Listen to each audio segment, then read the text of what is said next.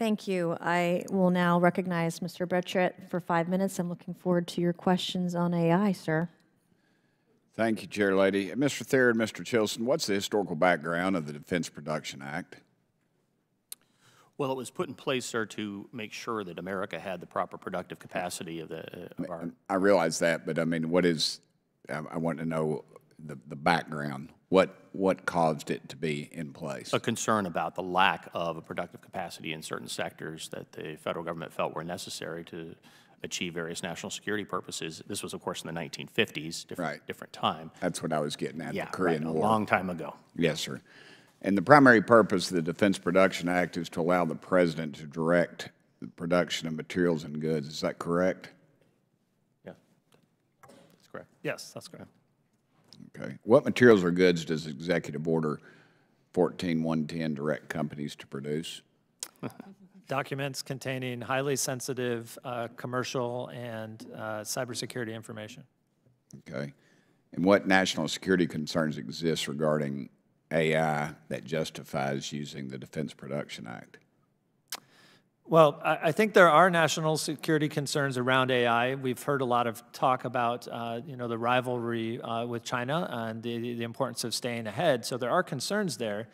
But as for ones that um, directly address uh, threats, uh, the kinds of threats to interrupted production that the Defense Production Act is, is looking for, again, um, as Adam said, it, it turned the DPA on its head, which the DPA is, is to allow the government to spur production, and the executive order uses the DPA in order to discourage production on some levels, in part by uh, imposing in- additional regulatory burdens on, uh, on people who are producing at the highest level. Has the Defense Production Act been used to extract information from companies rather uh, than to encourage production? Either one of y'all? Not that I'm aware of. I've heard that there has been already an immediate request uh, uh, for, based on this use of the Defense Production Act, but I think in the past, I- I'm not aware of another one. Do you think using the Defense Production Act to regulate artificial intelligence is a bit of an overreach? And would Congress be better suited to regulate um, artificial intelligence? Yes, Congressman, I think that's right. Uh, The, the authority begins here to decide what the Defense Production Act should do, and I think now we're witnessing pretty excessive overreach uh, uh, of the statute. Do y'all think that this executive order could stifle artificial intelligence innovation? I do, and I think the use of the DPA uh, here um, undermines some of the other important goals that uh, Congresswoman Pressley was, was pointing out about government uses and the risks of government use uh, in, of AI.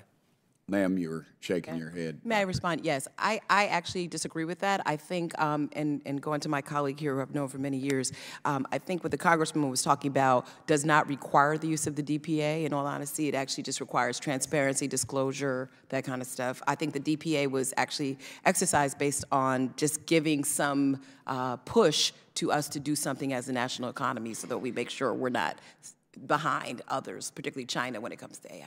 Ms. Huddleston, you haven't responded. Would you like to? I, I would agree with Mr. Chilson that I do think there are significant concerns about how the executive order could stifle innovation at a time when AI is still just emerging and we're just starting to understand the potential beneficial applications of it as well as the potential risk. Do y'all think that the executive order strengthens the U.S.'s ability to maintain its lead over China? Ma'am?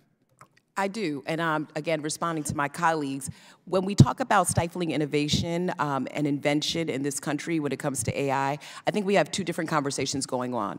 One is a conversation around the efficiency and use of AI in areas like, you know, occupational careers, different substacks, technological applications. The other was around the socio-technical application. How do the pub, how does the public interest benefit from the use of AI? And I would just urge us to sort of not conflate those two Well, areas. how does it do that?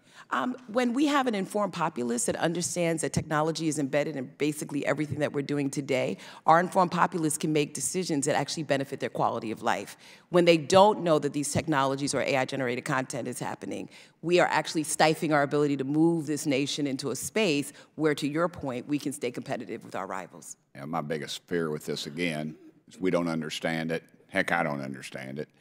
And um, Mace, uh, Chair Lady Mace probably understands it, and my colleague across the aisle probably understands it, but here again, we're going to start regulating something we don't understand because we're government, we're supposed to. And then again, it's just like cryptocurrency and everything else, dadgummit, we'll end up hurting it. And I, you know, so that's my concern. Um, Chair Lady, I yield back none of my time. Matter of fact, it's a negative amount of time. So I don't know if that You penalizes did good, me in Mr. the next Burchett. one I- or not. I will now yield to Mr. Burlison for